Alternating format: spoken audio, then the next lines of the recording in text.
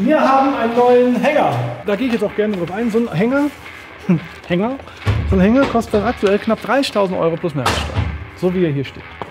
Aber ich muss auch ganz ehrlich sagen, man, das kostet halt also extrem viel Geld. Das soll auch so sein, weil das ist wirklich, glaube ich, einer der besten, äh, qualitativsten ähm, Kfz-Transporter, die man so haben kann aktuell. Aber manche Sachen können wir halt auch selber. Ne? Deswegen zeigen wir euch einmal den Ausbau plus einmal das Verladen.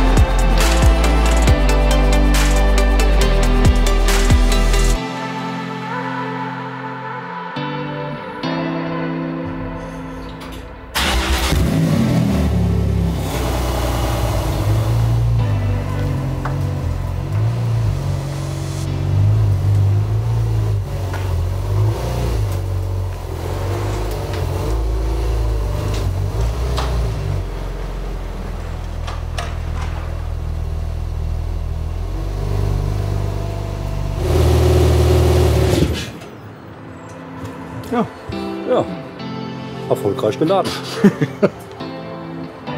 Herzlich willkommen zu einem neuen Video, zum äh, zweiten Teil von unserem Kfz-Trailer Hänger-Video. Ähm, erste, der erste Teil ist ja schon mal ganz gut angekommen. Ne? Und äh, wir sind jetzt fertig mit unseren ganzen Modifikationen. Ähm, Wolfgang hat auch gerade schon, also erstmal Hallo Wolfgang. Ne? Ja. Hallo Leute. Ähm, und zwar zeigen wir euch jetzt mal im Schnelldurchlauf, was haben wir bis jetzt gemacht und ihr habt das Auto auch gerade schon verladen, ne? weil ich war ein bisschen spät. Genau. Okay, also, dann, äh, ja, den Hänger, den haben wir euch ja. Den Hänger soll man eigentlich gar nicht sagen. Diesen Fahrzeugtransporter, ne, sagt man, ne? Fahrzeugtransporter. Fahrzeugtransporter haben wir euch ja schon alles vorgestellt. Ähm, was ist passiert, außer dass wir den GT2 S MR eingeladen haben? Ja, wir haben ihn in dem FTP 235, ein hervorragender Anhänger. Zusätzlicher Einbau. Der Verkäufer. Das gibt, das gibt aber einen Bonus. So. Für den FTP 235 habe ich lange gebraucht. Ja. äh, wir haben natürlich auch noch äh, äh, entsprechende Winde eingebaut oder einbauen wollen. Äh, das Ganze nicht nur einfach. Äh, ich habe eine Winde extern gekauft, die hat über 5 Tonnen Zugkraft. Und damit das Ganze ein bisschen universeller verfügbar ist, haben wir hier diesen Windeverschiebeschlitten, den haben wir dann bei Mötefing doch original bestellt und haben dann die ganzen Einzelteile hier verbaut. Das heißt, wir sind jetzt in der Lage, mit der Energieschnecke, da komme ich gleich noch drauf zu sprechen, den, die komfortabel von rechts nach links zu verschieben. Ja.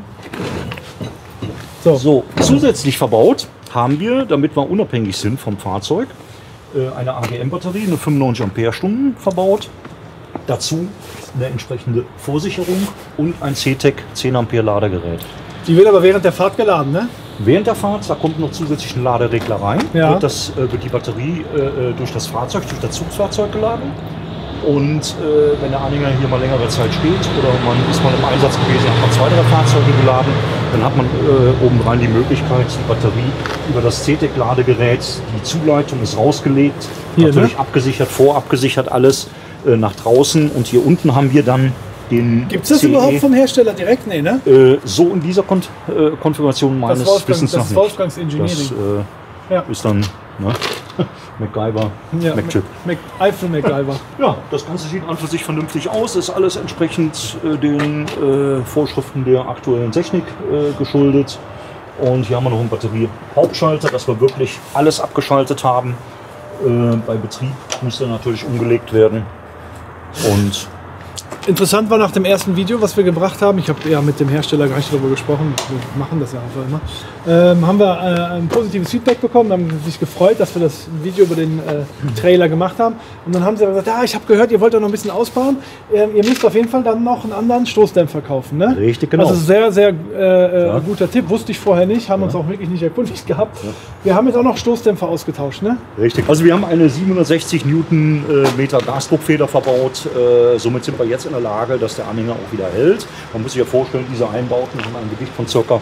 Äh, 45, knapp 50 Kilo insgesamt. Hallo. Und äh, von daher hatten wir natürlich Probleme, dass der Anhänger selbstständig nicht mehr äh, zu kippen war. Wir haben gekippt mit den Einbauten, er federte einfach wieder zurück und von daher die zusätzliche äh, Gasdruckfeder, wo wir jetzt gar keine Probleme mehr haben, Fahrzeug zu Was noch fehlt, ist, wir haben noch einen Kasten. Ne? Mein Vater Ja, ist den gerade am. Ingenieren. Kannst du mal einblenden, aber das dauert zu lange. Wir müssen das Video langsam bringen, weil sonst kommt unser ganzer Tonus durcheinander. Äh, mein Vater baut noch einen Kasten. Ne? Der Kasten ist bereits fertig. Der ist den bereits hat er fertig? gestern fertig gebaut Ah, und okay. den müssen wir jetzt nur noch anbauen. Äh, sind nur noch die vier Schrauben. Die kommen hier, der kommt hier der hin. kommt hier hin, da haben wir dann äh, eine Verlademöglichkeit bzw. eine Packmöglichkeit von zusätzlichen Gurten oder äh, äh. Putzlappen, Stauraum einfach. Ja. Äh, eine Drogen. Fernbedienung müssen wir ja haben für die Fernbedienung. Die wird Ja. entweder Ne, wenn wir auch mal Autos in Holland holen, ne? kann man auch mal ein bisschen Drogen mit, mitnehmen, oder? Ja, das geht auch, ne? Muss aber da unter den Deckel drauf, ne? Geschäftszweig. So, ähm, was fehlt noch? Die Spiegel. Die hast du jetzt mal angeguckt. Wir haben ja schon ein paar Autos verladen. Ja. Ja. muss man ja dazu sagen. Ähm, und?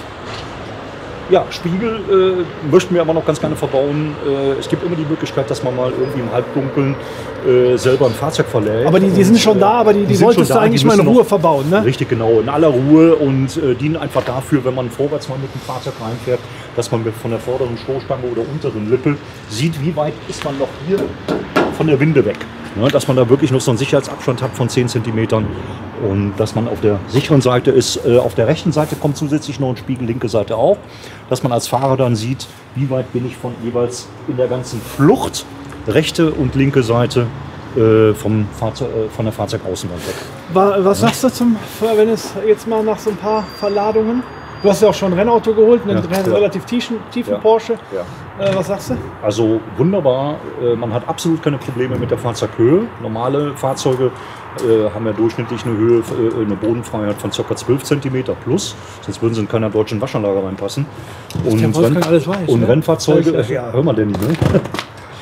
Aber Du hast es, ging mich gut eigentlich nur darum, ausgebildet, es, ne? ging, es ging eigentlich nur darum, was du sagst, wie, also vom Verladen. Also Vom Verladen super her, easy, oder? super easy, total Geld einfach. wert? Und äh, das Geld war auf jeden Fall wert. Also, Also Meins. auch von der, ich sag mal, man hat ja auch gespart, sag ich mal, äh, äh, von der Zeit her, vom Zeitansatz.